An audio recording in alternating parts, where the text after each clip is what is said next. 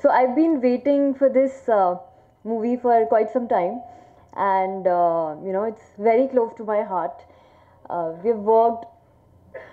You know, I mean, I remember I was shooting like since six in the morning till ten, sometimes two in the nights, and we were doing that continuously for days.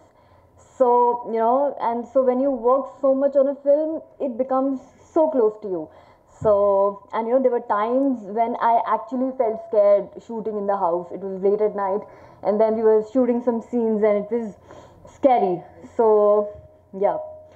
Um, so, you know, it was great working with Sundar sir and uh, Dhorai sir. Uh, Ganesh sir was awesome. So, you know, the whole team was amazing, and I am so blessed to be part of it and you know i'm so excited just to you know it's my first film role and then i'm excited for it. So you know all the best for the film. Thank you